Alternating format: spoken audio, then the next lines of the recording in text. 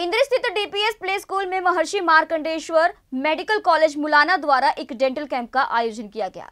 Camp में पहुँची तेरह सदस्यीय डॉक्टरों के द्वारा बच्चों के दांतों की जाँच की गई।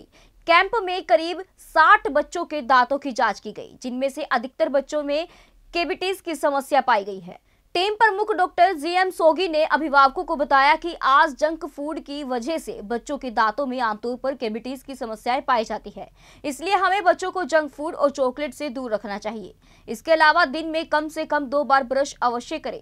कैविटीज से ग्रस्त कई बच्चों के परिजनों को उपचार भी बताया गया। इस मौके पर स्कूल इंचार्ज ममता चौधरी ने जानकारी देते हुए कहा कि बच्चों को जागरूक करने के लिए स्कूल में समय समय पर ऐसे कैंप का आयोजन किया जाता है, ताकि बच्चों को स्वस्थ रखने के टिप्स अभिभावकों को बताए जा सके।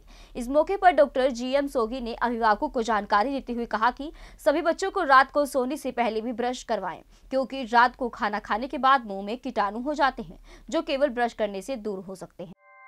ऐसे ही लेटेस्ट खबरें पाने के लिए बेल आइकन को क्लिक कर हमारे चैनल को लाइक, शेयर एंड सब्सक्राइब करें। धन्यवाद।